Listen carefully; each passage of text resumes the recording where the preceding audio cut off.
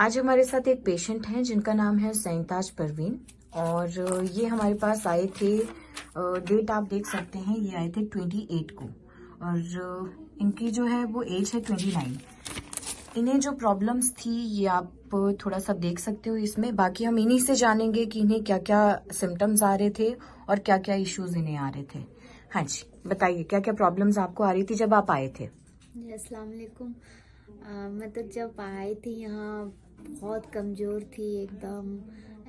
खाना पीना मेरे को पूरा ज़्यादा नहीं था जो खाते थे उल्टी हो जाता था। एक पीस भी अगर फ्रूट्स लूँ तो वो भी उल्टी हो जाता था। यहाँ तो खा लेती हूँ फिर भी हाफ़ प्लेट हो कुछ भी आराम से खा लेती हूँ। और चलना फिरना मे, मेरा योगा और थेरेपी पंचकर्मा सब बहुत बढ़िया है यहाँ। यहाँ के डॉक्टर भी बहुत अच्छे हैं और सब स्टाफ बहुत अच्छे हैं। यहाँ के मरीज़ लोग से भी मैं जहाँ जब जब बात करती हूँ, आपको कैसा मतलब महसूस होता है, कितना आराम है, वो भी बोलते हैं, बहुत आराम है। हम लोग का ऑपरेशन होने का रहता है, लेकिन बोल देते हैं, ऑपरेशन हो भी जाएगा ना, वो बचने का कोई उम्मीद नहीं है। लेकिन वो मरीज़ यहाँ आके ठीक होते हैं और मैं मैं तो बहुत आराम है मेरा। ओके okay, तो आपको जब आ, मतलब यहाँ पे आए थे तो डायग्नोसिस क्या बताया था? क्या बीमारी है आपको? बोला था कि मेरा स्टोमक में कैंसर था। एक्चुअली में सर हम उड़ीसा से आए हैं।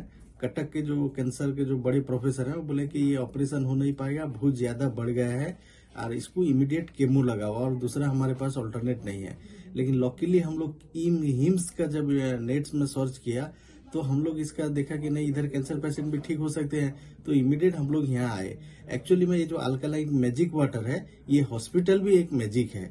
यहाँ पर बहुत बड़ा बड़ा जो मान जहाँ पर आपका जो एलोपैथी जहाँ डॉक्टर जहाँ पर हार मानते हैं, ये वहाँ से सोचना स्टार्ट करते हैं। इतना अच्छा इतना अच्छा यहाँ के स्टाफ यहाँ के डॉक्टर यहाँ के वेटर कोई भी स्टाफ यहाँ के हो, बहुत इनका अच्छा व्यवहार है। अब बहुत इनसे हम लोग को सीखना भी मिला है। और हम लोग बहुत खुशी है और आगे भी कोई से भी हमारे उधर कोई से भी ऐसा पेशेंट आएगा तो हम तुरंत इधर भेज देंगे।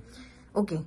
अच्छा जब ये हमारे पास पहले दिन आए थे तो इन्होंने मुझे कंप्लेन की थी कि ये जब भी कुछ खाते हैं इवन जब भी ये फ्रूट्स भी खाते हैं तो इनको बहुत ज़्यादा पेन होता है और वॉमिटिंग के बाद रिलीफ मिलता है। एपिगेस्ट्रिक बर्न है खट्टी डकारे हैं और सर्वाइकल रीजन में भी पेन था लोअर बैक एक था।